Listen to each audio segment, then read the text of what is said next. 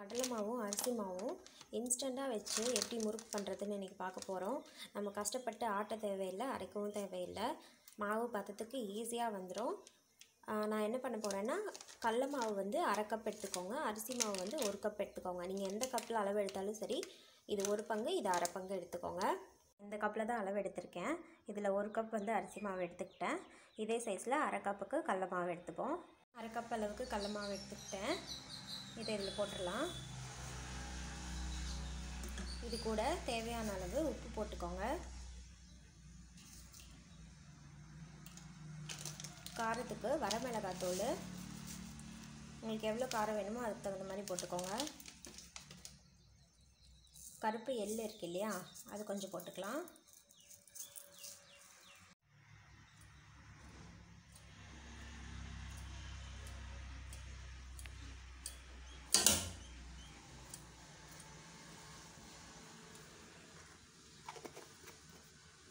கொஞ்சமாக நெய் சேர்த்திக்கோங்க. பிணையத்துக்கு ஈஸியாக இருக்கும்.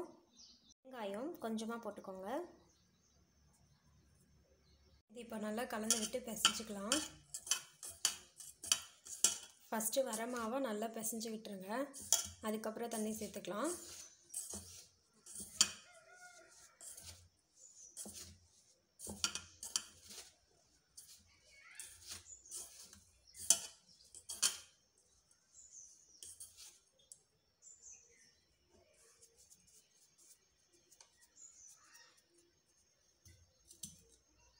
கொஞ்சம் கொஞ்சமாக தண்ணி சேர்த்து பிசைஞ்சுக்கோங்க.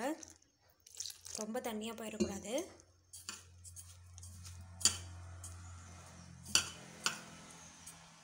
மாவு நல்லா பிசைஞ்சாச்சு. இப்போ எண்ணெயில் போட்டு புளிஞ்சு எடுத்துடலாம். நான் வந்து முறுக்கு குழாயில் இந்த கண் இருக்க மாதிரி எடுத்துக்கிறேன் ஸ்டாரு.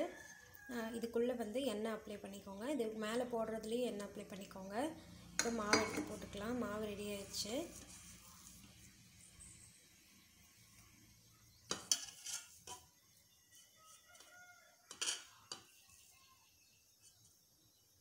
ஓரளவுக்கு அமுக்க முடியிற அளவுக்கு கொஞ்சம் இலக்கமாகவே பிணைஞ்சிக்கோங்க இல்லைன்னா அமுக்கிறதுக்கு ரொம்ப கஷ்டமாக இருக்கும்.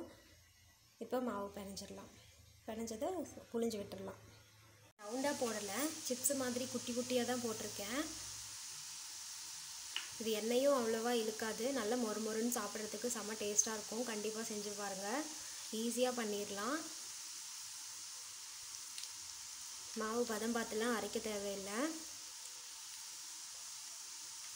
இப்படி பண்ணும்போது கொஞ்சம் வெயிட்டாக இல்லாமல் நல்லா கலகலன்னு சவுண்டு வரும். அப்போ தான் வெந்துருச்சுன்னு அர்த்தம். ஒன்றோட ஒன்று ஒட்டாமல் வரும்.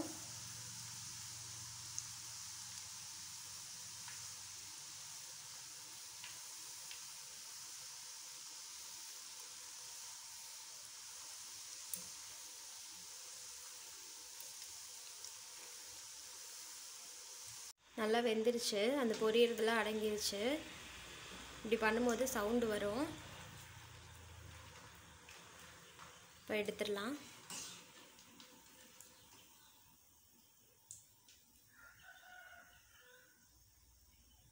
உங்களுக்கே தெரியும் நல்ல கலரு.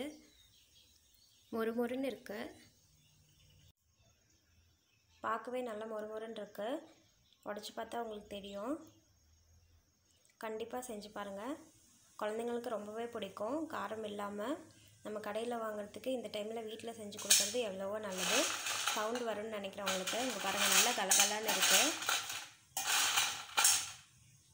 சுட சுட வந்து முறுக்கு அரிசி முறுக்கு ரெடி ஆயிடுச்சு. நீங்களும் கண்டிப்பாக செஞ்சு பாருங்கள் குழந்தைங்களுக்கு ரொம்பவே பிடிக்கும். சேனல் மறக்காமல் சப்ஸ்கிரைப் பண்ணுங்கள் லைக் பண்ணுங்கள் ஷேர் பண்ணுங்கள் கமெண்ட் பண்ணுங்கள் தேங்க்ஸ் ஃபார் வாட்சிங்